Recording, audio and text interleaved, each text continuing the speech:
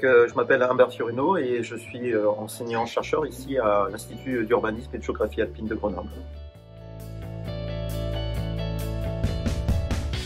Eh ben, en fait, nos, étudiants apprennent à utiliser QGIS. Hein. On a un master de, géomatique et donc évidemment ils apprennent à utiliser euh, des, logiciels libres comme QGIS mais aussi euh, ArcGIS, euh, R, Postgres PostGIS, programmation Python.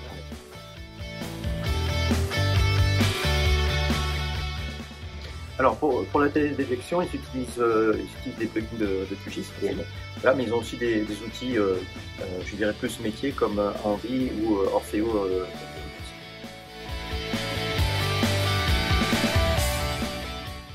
Ah oui, très bonne question. Alors, euh, comment j'ai connu QGIS euh, ben, Il se trouve qu'ici, euh, il, y a, plus de, 20 ans, on a eu une, réunion avec des, gens de, l'IGN et des gens qui venaient parler de, données ouvertes, d'OpenStreetMap.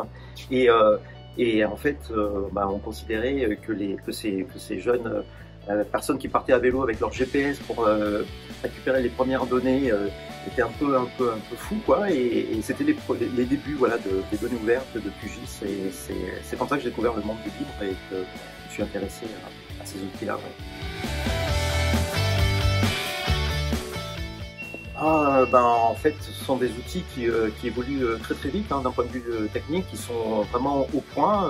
Lorsqu'on utilise un, un, QGIS ou un, ou un PostGIS, on ne fait pas de concession d'un point de vue technique par rapport à un ArcGIS ou à un Oracle sont vraiment de, très très bons outils. Donc en fait, c'est toute la communauté qui, vient se greffer pour, euh, pour apporter ses, compétences, euh, développer et, faire progresser les, outils. C'est ça qui, c'est le, comment dire, le, bouillonnement qui est autour de, ces outils-là.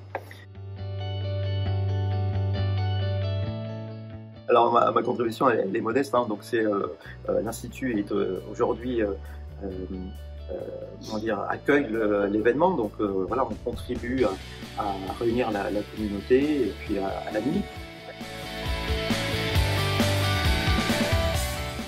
D'un point de vue alors plus euh, recherche, etc., moi j'aimerais bien intégrer un, ETF, donc un outil type FME dans, dans QGIS, ça serait vraiment formidable.